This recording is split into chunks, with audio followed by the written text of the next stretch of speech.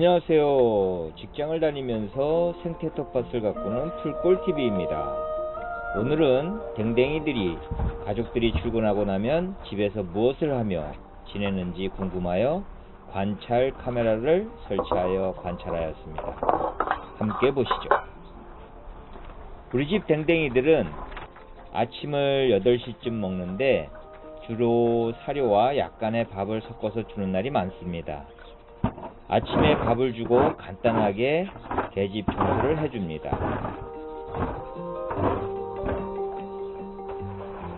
평상 위에 있는 상자는 우리 가족이 하루 이상 집을 비울 때 자동으로 먹을 만큼 사료가 흘러나오게 만든 자동 급식기입니다.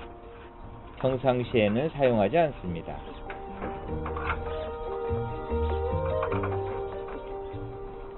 댕댕이들이 아침을 천천히 먹습니다. 왼쪽에 있는 댕댕이가 감자, 오른쪽이 고구마입니다. 감자는 한 번에 많이 먹고 고구마는 조금씩 여러 번 나누어 먹습니다. 밥을 먹고 앉아서 졸다가 시간이 지나면 편하게 엎드려 잡니다. 함께 보시죠.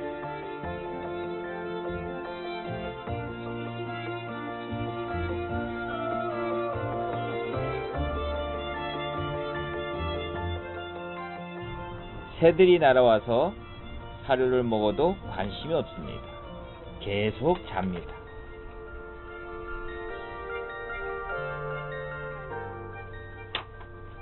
좀처럼 평상 위를 떠나지 않습니다.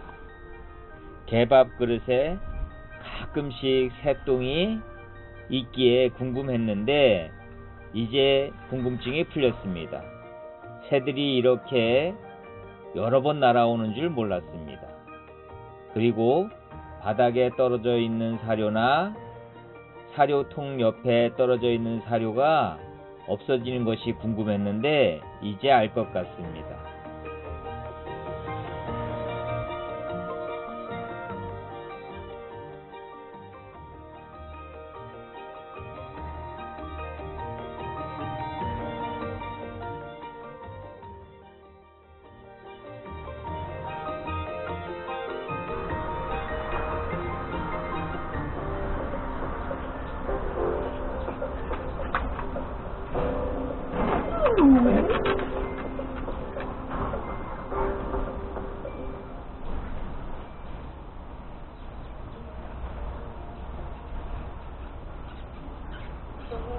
그러다 방송이 나오면 먼저 방송을 듣고 화답을 합니다.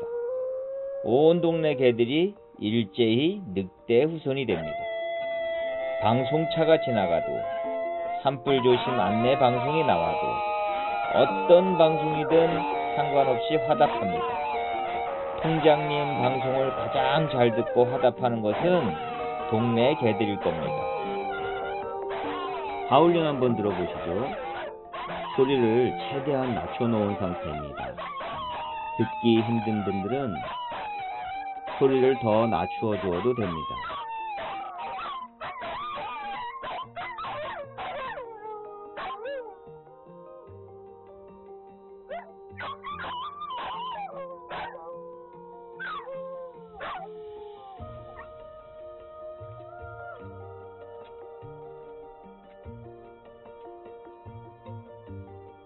개나 강아지가 늑대처럼 울부짖는 것을 하울링이라 하는데 그 까닭은 여러 가지라고 합니다. 개들은 조상이 늑대이기 때문에 늑대처럼 소리를 내고 늑대처럼 사회적인 동물이기 때문에 자신을 알린다든지 서로 소통을 한다든지 하는 행동으로 하울링을 한다고 합니다. 우리 동네 개들이 하울링을 하는 가장 큰 이유는 외부 소리에 대한 반응입니다. 특히 사이렌이나 방송이 개들이 우는 소리를 내는 하울링 주파수와 비슷해서 반응하는 것이죠. 그래서 안내 방송이 나오면 일제히 모든 개들이 하울링을 합니다. 이 밖에도 개들이 하울링을 하는 까닭은 많다고 합니다. 관심을 끌기 위해서라든지 놀이로 하울링을 할 수도 있고요. 경계의 뜻으로 하울링을 할 수도 있다고 합니다.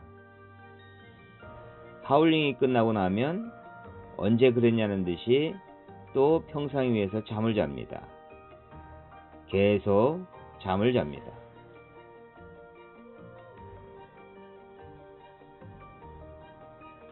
계속 잠을 자다가 오후 6시쯤 되면 고구마가 남은 사료를 마저 먹습니다.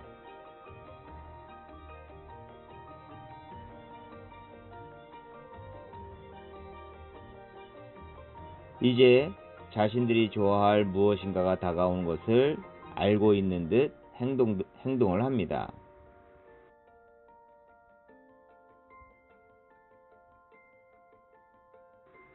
사료를 다 먹고 평상 위에 앉아 제 차나 제 아내가 아내 차가 들어올 쪽을 자꾸만 고개를 돌려 쳐다보기를 반복합니다. 그러다 차가 다가오면 문 쪽으로 쏜살같이 달려갑니다. 그리고 온몸으로 반기는 행동을 합니다.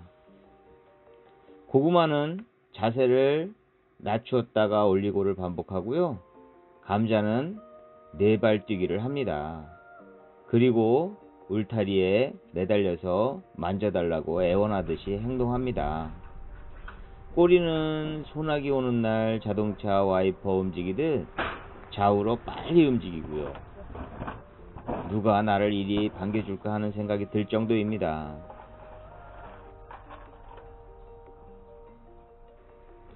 오늘 관찰 카메라는 여기까지입니다. 이어서 추가 영상을 준비했습니다. 추가 영상 뒷뜰에서 노는 것은 일주일에 두세 번 정도 합니다. 너무 좋아하고요. 아, 특히 기분이 좋을 때는 물통에 들어가서 반신욕 즐기는 것을 너무 좋아합니다. 계집은 다섯 평 정도 되고요. 이곳에서는 평상시에 개들이 지냅니다. 그리고 오른쪽 문을 열면 뒷뜰 쪽으로 완전히 트여져 있어서 뒷뜰까지 연결이 됩니다.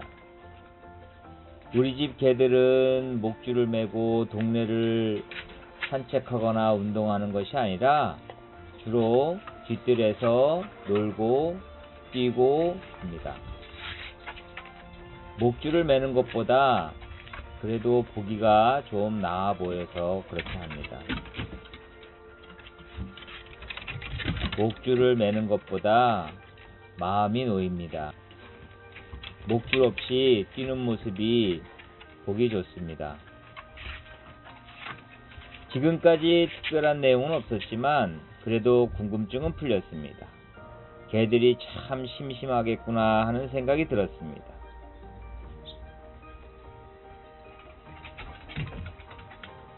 구독과 좋아요 알람 설정 부탁드립니다. 고맙습니다.